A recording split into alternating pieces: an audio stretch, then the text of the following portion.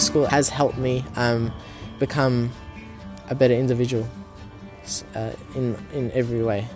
As a, as a person, as a better fighter. He's done a fantastic job to get where he is. He has strong family support, and uh, he was an associate athlete for, uh, at the academy. So while we didn't do any technical work uh, with him in boxing, that was uh, certainly his father's role. His father coached him all the way to the Olympics.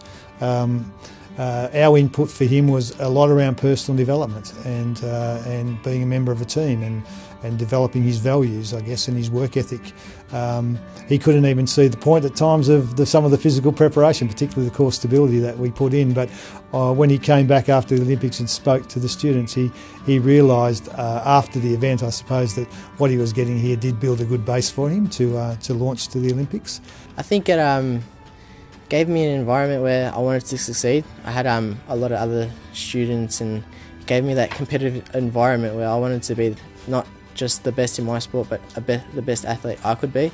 Being treated like a professional athlete from such a young age helps you develop into being a professional athlete. Gave me a good understanding of what other athletes have to do to be the best. Like they showed me the ropes where, you know, they taught me a lot about core stability and stuff like that. Whereas we could we would just do some abs and in the boxing gym and that would be it, you know. Where um, holding a plank for a couple of minutes was probably a lot better than doing all sorts of abs, you know. And they taught me like little strategies and little little tips, which which improved myself as um as a person and as a fighter. Uh, again, he's a different story.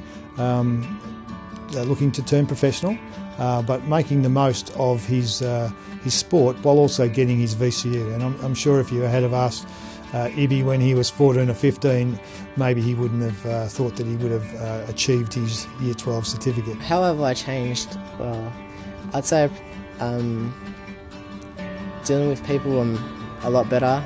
I'm, I'm really open to talk to people, and um, it probably gave me that confidence through you know, dealing with a lot of other athletes and a lot of other people.